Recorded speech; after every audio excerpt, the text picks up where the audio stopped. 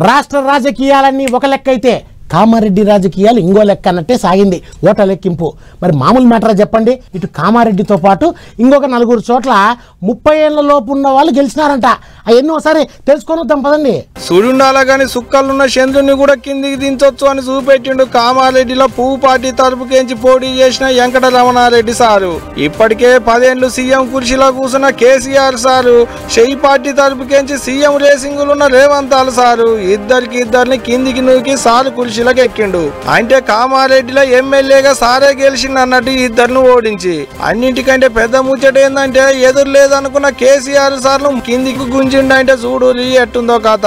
ఇగిట ఇద్దరు అక్కడోళ్ళు కాదు ఇంకోటి ఇద్దరు ఇట్లా ఎవరు గెలిచినా మల్లోపాలి ఓట్లు వస్తాయి మల్లోపాలి పాత మోకాలనే చూడాల్సి వస్తది అనుకున్నట్టున్నారు అక్కడి పబ్లిక్ అందుకనే ఇగో ఇట కారు పార్టీ వాళ్ళని షెయి పార్టీ వాళ్ళని కాదని కామారెడ్డిలో పదేళ్ళ లేని పువ్వు పార్టీ తరపుకెంచి నిలబడ్డ లోకల్ మనిషికి తుఫాన్ వచ్చినట్టే వేసిరు ఓట్లు.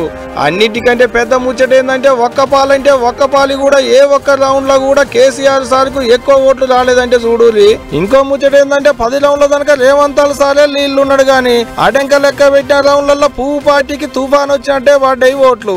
అట్ట వెంకట రమణారెడ్డి సారు ఓటున పడ్డాడు.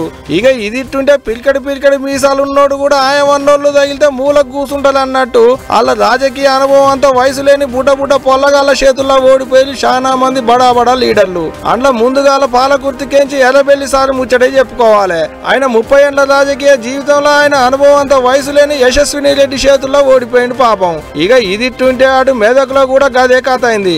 ఇరవై ఆరేళ్ళ మైనంపల్లి రోహితురావు రెండు మాటల ఎమ్మెల్యేగా అయిన పద్మా దేవేందర్ రెడ్డిని ఓడించిండు. ఇటు కంటోన్మెంట్ల కార్పాటి తరపు తరపుకేంచి నిలబడ్డ లాస్యా నందిత కూడా ఆటిన రాజకీయ అనుభవం ఉన్న ఉద్దండుల్ని ఓడించింది. ఇటు నారాయణపేటలో కూడా ముప్పై ఏండ్ల కంటే తక్కువనే వయసున్న పర్ణికారెడ్డి కూడా గదే చరిత్రను తిరగలాసింది. రాసింది ఇట్ట నలుగురు యంగ్ లీడర్లకు పట్టం కట్టి అసెంబ్లీకి పంపిరు పబ్లిక్ ఇంకో ముచ్చట ఏంటంటే పువ్వు పార్టీ తరపుకేంచి గెలుస్తారనుకున్నోళ్ళు ఇంటితో పట్టుకొని పోతే అసలు అలా పేరు ఎవరికి తెలవనోళ్ళు గెలిచిరు పువ్వు పార్టీలా.